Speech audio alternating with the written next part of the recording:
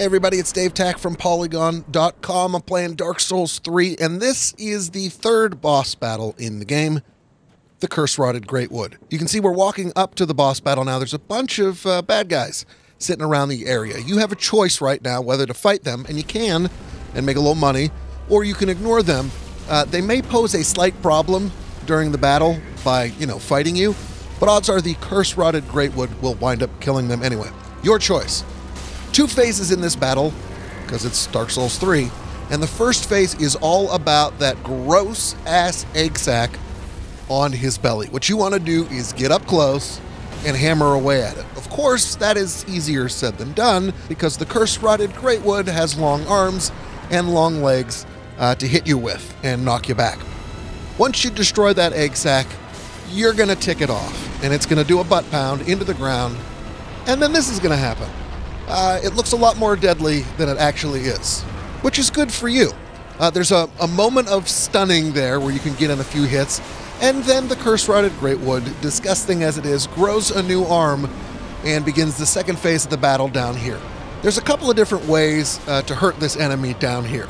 And there's a couple of different ways for it to hurt you. There's the standard old sweeping leg, there's the butt pound, and then of course there's this arm that can actually grab you and pick you up. That would be pretty much instant death. If you walk around the perimeter of this uh, gross ass tree, what you will find is that there are a couple of little egg sacs for you to hit on the arms and on the back. They're not easy to hit though. We're taking the more straightforward path here, which is to concentrate on that hand.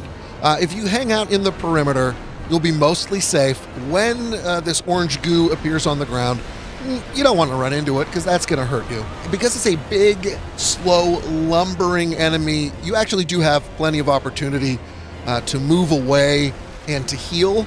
And if you have enough health, obviously, you can absorb some damage and then drink some Estus. But what you want to concentrate on mostly are the egg sacs on the legs or on the back and that hand which is actually a little easier because, like I said earlier, those egg sacs are kind of hard to find and hard to hit.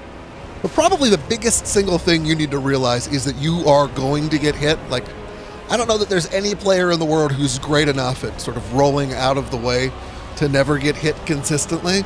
So you want to keep your shield up at all times to either block all of the damage if you've got an awesome shield, or to block most of the damage you would otherwise get.